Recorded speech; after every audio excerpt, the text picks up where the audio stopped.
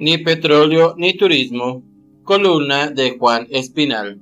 Una de las apuestas del gobierno que se hace llamar el del cambio, es decir, no al petróleo y no al carbón, actividades económicas que representan el 61.4% de las exportaciones del país, es decir, 32 mil millones de dólares anuales que generan importantes dividendos y tributos al Estado colombiano para invertir en las regiones.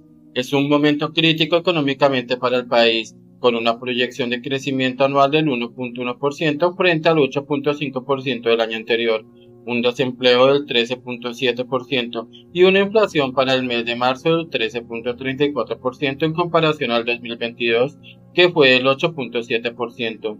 Solo a un gobierno radical de izquierda, experto en general miseria, se le ocurre debilitar al sector económico más importante para la economía del país. Ni petróleo ni turismo, Basta recordar que en la inoportuna reforma tributaria de Petro, uno de los sectores más golpeados fue el del turismo, al aumentar el IVA en los tiquetes aéreos al 19% y eliminando beneficios tributarios para el sector hotelero. Pero es contradictorio porque el gobierno del cambio le sigue apostando al turismo.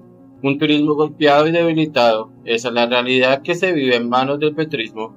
Lo vivido en Semana Santa fue lamentable según Cotelco, la ocupación hotelera estuvo entre el 43.2% y el 51.3% entre el 1 y el 8 de abril, lo que significó una disminución entre 7.4 y 15.5 puntos porcentuales respecto a la Semana Santa del 2022. 16 regiones turísticas con una tasa de ocupación inferior, con caídas superiores a 10 puntos en los departamentos de San Andrés y Providencia, menos 55.62 puntos, Caldas, menos 18 puntos, Huila, menos 17.3 puntos, Risaralda, menos 14.6 puntos, Cauca, menos 13.04 puntos, Antioquia 12.7 puntos, Atlántico menos 12.17 puntos, Santander menos 12.09 puntos, Magdalena menos 11.2 puntos, Tolima y Alto Magdalena menos 10.54 puntos. Pérdidas representadas en un valor aproximado de 136 mil millones de pesos, en disminución de empleos, dejando de contratar personal que garantizaron la prestación de servicios en la temporada.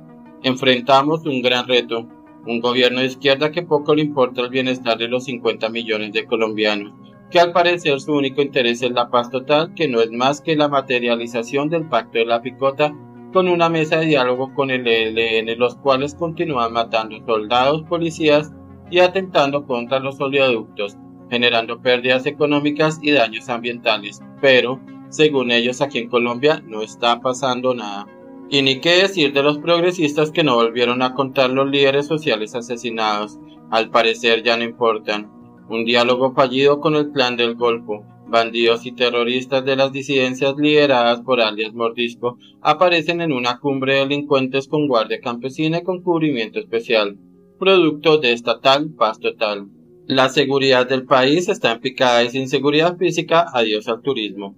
Sin duda, insistir en la forma de más contratos de exploración de hidrocarburos es la salida, pero no desde el Congreso. Necesitamos que la ciudadanía, gremios, academia, trabajadores y la opinión se movilicen.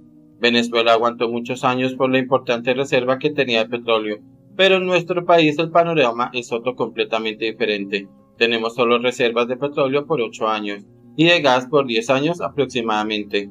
¿Será que convertirán a Colombia en un estado dependiente del régimen chavista? Ojo colombianos, si esto ocurre tendrán que pagar cinco veces más por la factura de gas.